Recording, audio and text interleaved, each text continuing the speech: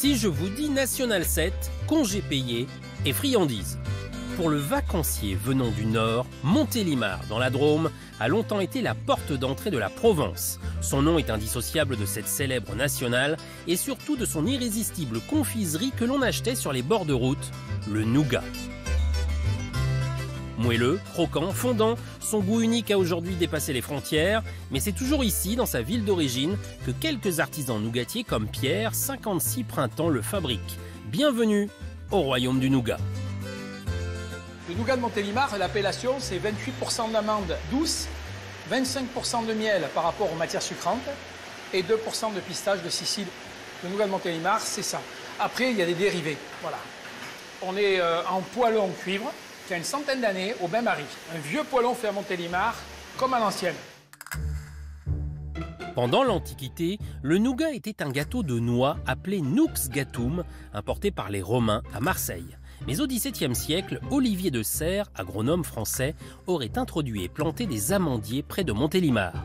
Le fruit se conservant mieux, on décide d'abandonner la noix.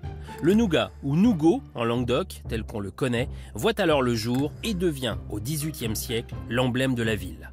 200 ans plus tard, il alimente encore bien des légendes.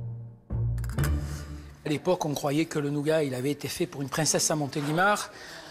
Le miel, c'était la blancheur de ses cheveux, parce que cette princesse, elle était blonde. Les amandes, c'était la forme de ses yeux. La couleur des amandes, on a mis des pistaches, parce qu'elle avait les yeux verts.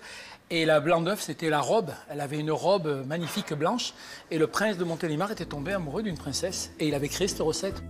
La renommée du nougat vient aussi de son terroir. Le miel, produit tout l'été, est l'ingrédient phare de la célèbre confiserie et Pierre fait ses provisions pour l'hiver chez Christian, son apiculteur préféré. Oh, salut Christian. Ça va? Alors, toujours au taf? Ouais. Même avec le temps, là? Oh, c'est pas bien bon là. hein. On travaille d'ailleurs pas beaucoup. Tu leur as parlé qu'il me fallait un peu de miel aux, Ouais, aux oreilles, là? je leur ai dit de bosser, Tu mais as dit bon. qu'elle bosse, euh, sinon, euh, moi, je paye pas. hein. ouais. La Drôme provençale, avec son climat méditerranéen franc et son fameux Mistral, est une terre de prédilection pour les abeilles. Elle fabrique tout l'été du miel de toutes fleurs, mais particulièrement de lavande, utilisée pour la fabrication du nougat. Malheureusement, aujourd'hui, le temps est un peu couvert, les butineuses sont en grève. C'est un temps à l'orage, donc les abeilles sont très agressives. On leur ouvre leur maison alors qu'il y a un risque de pluie. Il leur faut du soleil pour qu'elles aillent butiner. Euh, Plus il fait chaud, plus elles sont contentes. Il faut vraiment un temps sec pour récolter du miel. Christian, il est très important. hein. Euh, moi, mon nougat, il dépend aussi de lui. Si j'ai pas de miel, euh, je fais pas de nougat. Tiens, tu le goûteras, celui-là, il, est- il est pas mal. Je vais me régaler. Hein. Allez. on s'appelle de toute façon. Hein. Pour On s'appelle. tu m'en livres. Hein. Pas de soucis. Allez, ciao. Allez, à plus. Ciao, ciao. Retour à l'atelier, Pierre vient surveiller sa préparation miel et blanc d'œuf qui a été travaillée pendant une heure et demie. Pour 100 kg de nougat, poids total en charge d'une cuite totale, on a mis 23 kg minimum de miel de lavande de Provence. Quand on cuit du miel, on a l'avantage que le Mistral nous sèche la pâte. Quand c'est un vent du midi où il pleut comme aujourd'hui, on a des nougats qui collent, on a des nougats plus lourds. On adapte la recette à ça. Puis un sirop composé de sucre et de miel est délicatement rajouté à la pâte. Les anciens se levaient la nuit pour voir le temps qu'il allait faire. Ils faisaient du dur, du temps, la température le lendemain. Mais ils faisaient une chose, ils regardaient le sucre à 130, 140 degrés avec les doigts. Donc attention, c'est pas tout le monde qui peut le faire. Une bonne bassine d'eau froide. Et on va le chercher. Mais il faut être rapide. hein. Voilà, on peut regarder comment est le sucre, comment il sera. Ah, et là, il pouvait dire 2 degrés, 3 degrés de moins, 2 degrés de plus.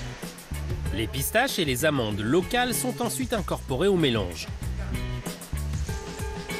Au bout de 3h30, la pâte, appelée la cuite, est alors tirée à la force des bras et travaillée dans de grands moules. Là, je viens de prendre un gros rouleau de pâtissier qui fait une quinzaine de kilos.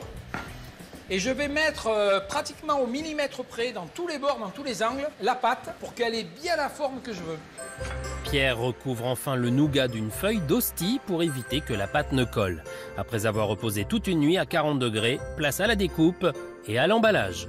100 kg de nougat, 4 heures de fabrication, 1 heure pour le sortir, 2 heures et demie pour le couper en petits morceaux, 1 heure et demie pour l'emballer. Il faut donc au minimum 7 heures pour fabriquer un bon nougat artisanal, un savoir-faire que Pierre, notre nougatier depuis 32 ans, n'est pas prêt d'abandonner. Un jour, on a toujours une chance qui se produit dans la vie. Et c'est quelque chose de très émouvant pour moi quand j'en parle, parce que c'est une personne qui est euh, euh, m'a appris beaucoup de choses. Un jour, je faisais du nougat de vin et euh, j'avais pas toujours la, notion des cuissons, euh, de la chauffe et tout. Et un monsieur arrive et commence à visiter et il me dit Écoute, jeune homme, moi je ferais pas comme ça. Moi je mettrais mon sucre à telle température, je regarderai sous l'eau, je regarderai le petit cassé, la météo le matin, le vent qu'il va faire.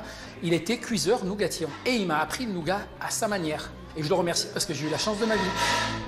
Blanc, noir, moelleux, dur, Pierre prépare chaque année 42 tonnes de nougat sur les 5000 produites à Montélimar, une gourmandise qui n'a pas fini de nous faire craquer.